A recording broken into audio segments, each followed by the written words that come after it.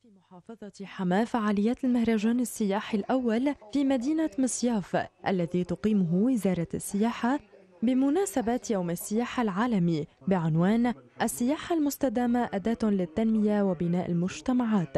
حيث تضمن حفلا أقامه مجلس مدينة مصياف وبالتعاون مع مديرية السياحة وفقرات فنية لفرقة الكورال التابعة لفرع مؤسسة الشهيد في مصياف وفرقة كشاف مار الياس وفرقة الدرع والترس والعديد من الأغاني الوطنية وفقرات ومشاركات عديدة. وبحضور عدد من الشخصيات الرسمية والشعبية. كان احتفال كتير حلو تراثي شعبي فولكلوري بعنوان تحية من الفور... من العاصي إلى الفرات.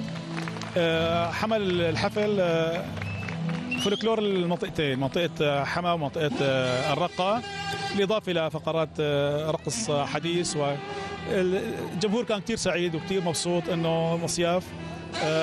يكون فيها الحفل هذا العام. كثير حلو قدمنا الفولكلور الحموي سيف الترس والعراضه الحموية كما تم عرض عدد من الأفلام الترويجية إنتاج وزارة السياحة. الحقيقة مصياف تلعب موقع أو تقع على في موقع جغرافي هام جدا على طريق صناعة السياحة في سوريا.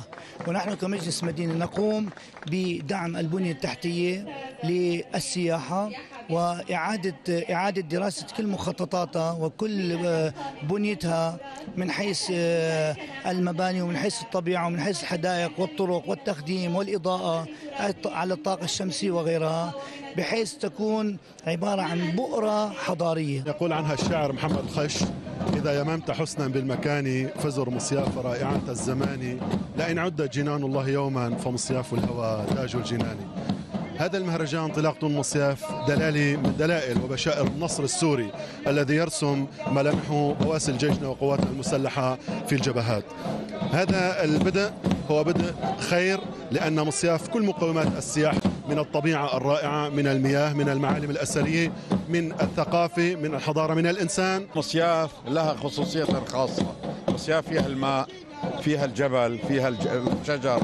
فيها جميع مقومات السياحية التي تمتلكها هذه المدينة الوادعة الرائعة بكل المقومات. نحن فريق مؤسسة الشهيد اليوم شاركنا بمهرجان مصياف السياحي الأول من خلال مجموعة من الأطفال. شكلوا فريق الكورالي قدم فرقة بتحكي عن الشهيد ومجد الشهيد. هذا اليوم مهم بحياة منطقة مصياف مو بس مدينة. نحن مصياف تنافست الفصول على هواها فما تفرد فصل بالأواني. مصياف تاج الجناني مصياف الوراقة والدمع فيها براقة. نحن بنساهم في هذا المهرجان كجمعية خيرية إسوة بإخواننا اللي بيشجعوا الصناعة السياحية اللي هي أحسن برنامج بمد الوطن. سياحيا واقتصاديا. انطلاق فعاليات المهرجان السياحي الأول هو إثبات للعالم أجمع أن سوريا بخير والبقاء على أرض سوريا لعيش فرح الانتصارات التي يحققها أبطال الجيش العربي السوري ضد الإرهابيين على امتداد ساحات الوطن.